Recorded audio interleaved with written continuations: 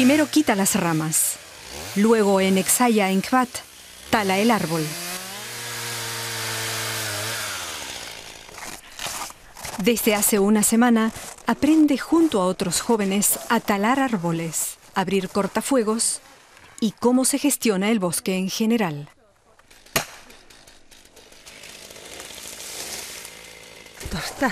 Me gusta mucho trabajar al aire libre.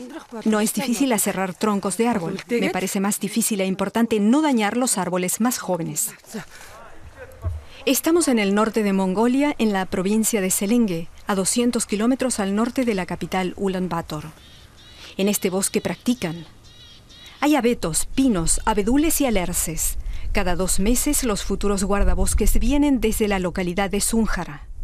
La taiga siberiana comienza aquí. Este es el límite sur. Pero esta frontera se está desplazando hacia el norte. La taiga se está reduciendo. Este fenómeno se debe al cambio climático. Al aumentar las temperaturas, el permafrost se descongela. Al haber exceso de humedad, las raíces se pudren y los árboles mueren. Corzos, osos, lobos y venados pierden así su hábitat.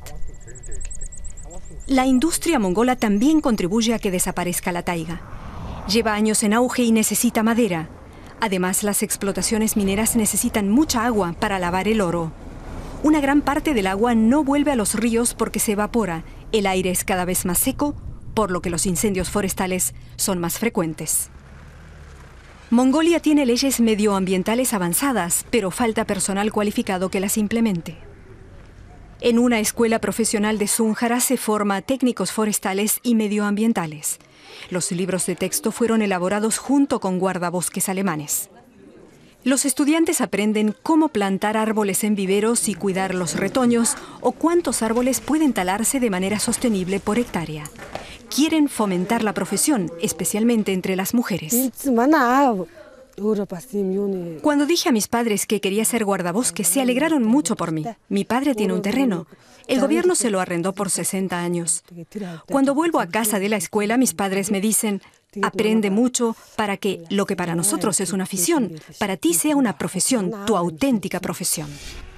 Para que en Exaya encuentre luego trabajo, su escuela profesional colabora con empresas asociadas como esta serrería.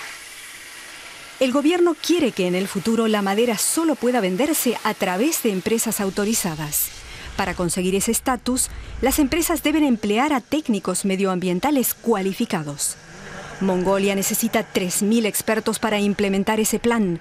La tercera parte recibirá formación durante los próximos tres años. Su tarea es ayudar a detener la extinción de la taiga.